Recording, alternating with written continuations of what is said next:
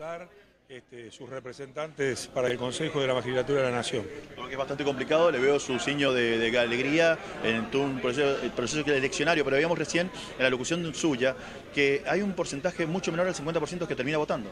Bueno, pero esto es lógico.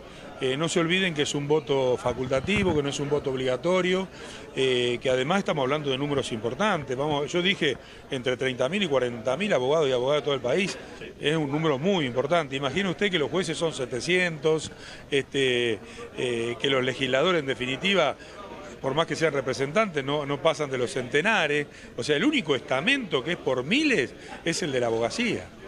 En este caso digo porque hablabas también de polarizado el tema de, o que cada uno tiene su convicción y, bien, pero tanto se habla de un lado y del otro. Me, sonó mucho, me llamó la atención el porcentaje de votantes. ¿Por qué? Porque, digo, no, no son más. No, no, pero es, muy importante. Miren que antes se votaba mucho menos, ¿eh? va creciendo continuamente. Por el interés, el interés, no te olvides también que estamos hablando de la justicia federal, porque en el interior del país eh, es matrícula federal, no es lo mismo que la matrícula ordinaria que llevan adelante eh, los juicios cotidianos este, de una sociedad. La justicia federal es de excepción. Yo, por el contrario, creo que 30.000, eh, 40.000 votos son una cantidad enorme. En este caso también lo vimos, lo sentimos, hablar de capacitación como que hay que mejorar los estamentos, ¿es así? Sí, los estamentos no, yo lo que hablo es de capacitar para tener una, justicia de, calidad. O sea, dos, dos, extremos, control de gestión, o sea, para que los procesos vayan cumpliéndose en un plazo razonable, en forma transparente, con la trazabilidad que corresponde, y por otro, el contenido. ¿Cómo mejoro el contenido? Con una capacitación permanente. Y esto es a lo que apunto cuando lleguemos al Consejo. Llegando al Consejo, ¿en cuánto tiempo vista se puede llegar a proyectar o programar esta capacitación, este cambio, esta mejora en todos los eh, ámbitos? No, yo creo que hay que ir en forma inmediata, eh, porque nosotros ya hicimos una tarea, cuatro años, hace cuatro, ¿no? Porque acá no hay reelección, este, y venimos a continuar aquello que comenzó, que fue tan virtuoso.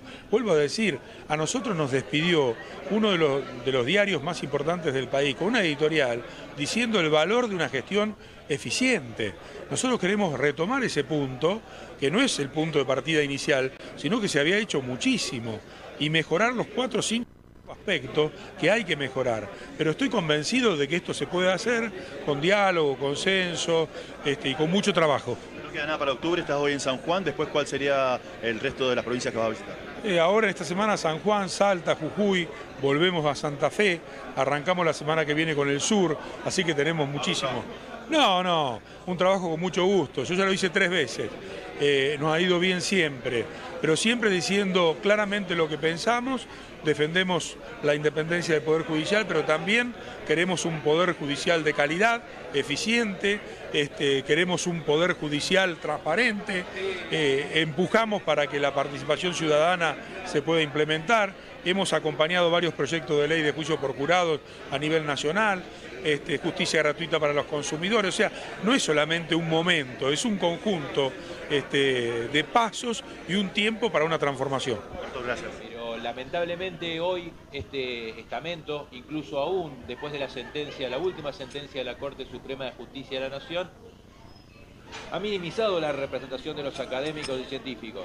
Si hacemos un poco de memoria, la Constitución establece que los profesores eh, titulares a cargo de cátedra, quienes hemos ganado un concurso público, debemos elegir, y como lo ha dicho también la Corte Suprema de Justicia de la Nación, a nuestros pares, representantes al Consejo de la Magistratura de la Nación. Y eso tuvo la oportunidad.